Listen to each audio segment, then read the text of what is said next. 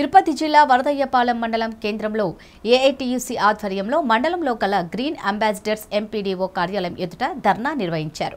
ఈ కార్యక్రమంలో ఏఐటియుసి అధ్యక్షుడు చిన్నరాజు మాట్లాడుతూ ఒక సంవత్సరం గడుస్తున్న స్వచ్ఛ భారత్ కార్మికులకు ఆరు వేల నుండి పదివేలు పెంచుతూ ఇచ్చిన జీవో ఆరు వందల ఎనభైను అమలు చేయకపోవడం బాధాకరమని అన్నారు. కార్మికుల ఐక్యత. కార్మికుల ఐక్యత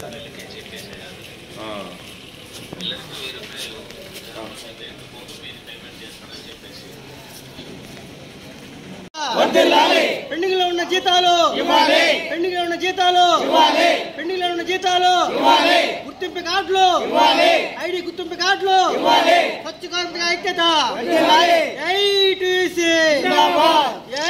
జీతాలు వెంటనే. గ్రీన్ అంబార్స్కి ఈఎస్ఐ పిఎఫ్ సౌకర్యం వెంటనే. గ్రీన్ అంబాసిడర్లకు పని పనిముట్లు వెంటనే. గ్రీన్ అంబాసిడర్లకు సోపు ఆయిల్ నూనె అన్ని ఇవ్వాలి. ఇవ్వాలి.